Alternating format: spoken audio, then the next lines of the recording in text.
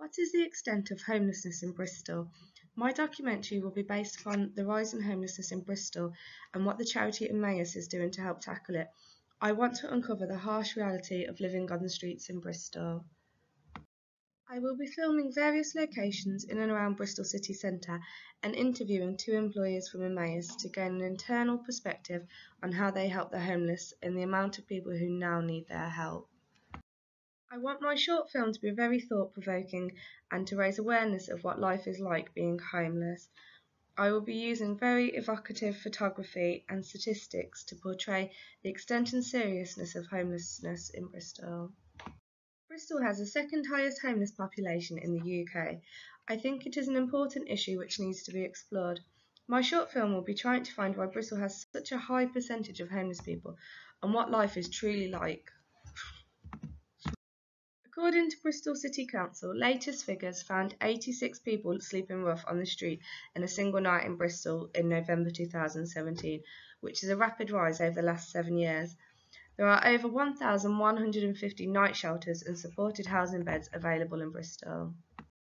I also want to centre my film around Emmaus UK, which is a homeless charity that not only provides people a bed for the night, but also offers a home, meaningful work and a sense of belonging.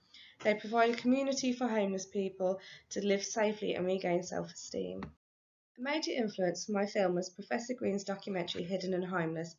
Within this documentary, Pro Green meets homeless people in Manchester and explores places where they are living, including underneath motorway bridges.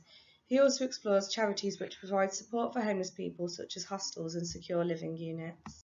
One thing which has inspired my creativity from Professor Green's documentary is the way in which it is filmed and the effects which are used. He uses many shots of just inner urban Manchester, particularly of housing estates and places which have succumbed to poverty.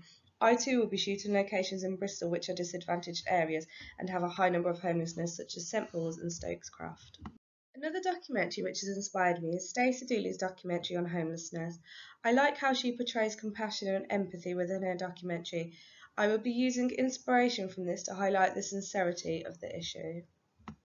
The film genre of my documentary will be observational, as it will be documenting the natural flow of life and events as they happen.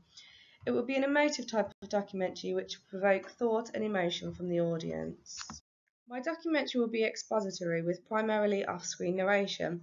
I will be using discursive storytelling which gives priority to information, facts and logic.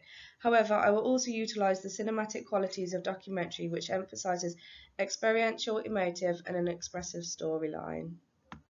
To open my scenes within my film, I will be using establishing shots. An establishing shot is a shot at the head of a scene that clearly shows the location of the action. This shot often follows an aerial shot and is used to show where everything will happen. I will be filming several location shots in and around Bristol. My documentary will be grayscaled and shot in black and white. By doing this, it will capture and express the tone of the documentary. I want a rather gritty effect throughout the film. The interview segment of my documentary will be filmed in colour to provide contrast and to represent hopefulness that their work is changing homeless people's lives. Will be using time-lapse photography and recording throughout my film. Time-lapse photography is a technique whereby the frequency at which film frames are captured is much more spread out than the frequency used to view the sequence. When played at normal speed, time appears to be moving faster and thus lapsing. By using this technique, I feel it will portray the idea that people in society are so busy with their own lives they fail to acknowledge people on the streets. I can also use time-lapse recording as a scene connector. For the interview segment of my film, I will be interviewing my sister who currently works for Emmaus. Alongside this, I will be interviewing her senior manager.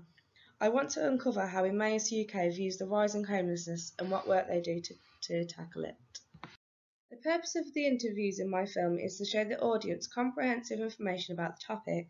Whilst recording the interviews, I will take into account the lighting, framing and camera angle, as this all affects the audi audience's perception of the person speaking. Close-up headshots and medium close-up shots when executing my interviews to draw focus to the person on camera. This will also help to build a relationship between the audience and the person being interviewed. It will be easy to connect emotions between the two. The camera framing in my film will be focusing on single shots. With permission from the people I will be filming using single shots, this is so my shot will capture one single subject. I feel this will draw the audience to specifically the person in the scene rather than what is in the background. The overall aim of my documentary is to effectively portray the extent of homelessness on the streets of Bristol and to explore what charities such as Emmaus are doing to help tackle it. I hope you've enjoyed my storyboard. Thank you for listening.